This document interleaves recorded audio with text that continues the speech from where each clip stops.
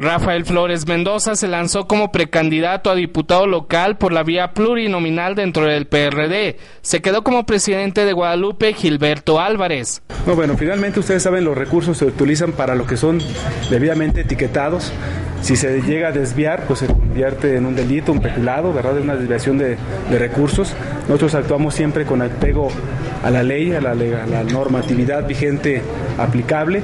La nómina, pues si usted la revisa, únicamente tiene los incrementos que se han dado con el, salario, precisamente los incrementos salariales que se han derivado de las negociaciones con el sindicato y con los demás trabajadores de la presidencia municipal.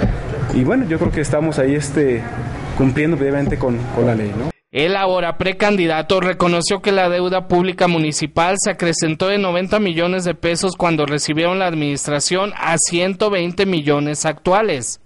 Nosotros cuando llegamos encontramos un municipio con una deuda pública cercana a los 90 millones de pesos, que incluye, incluyendo la del Seguro Social.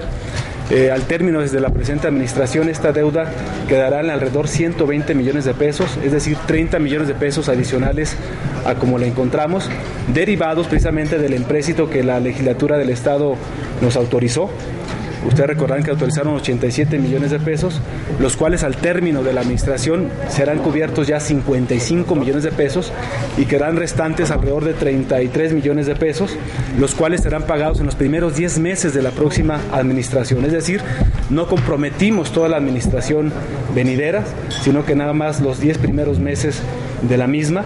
Con imágenes de Marco Méndez para B15 Noticias, Alfredo Jiménez.